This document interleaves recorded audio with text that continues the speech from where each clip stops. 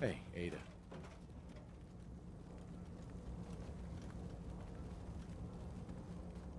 Horus it's fucking bugged out. God damn it.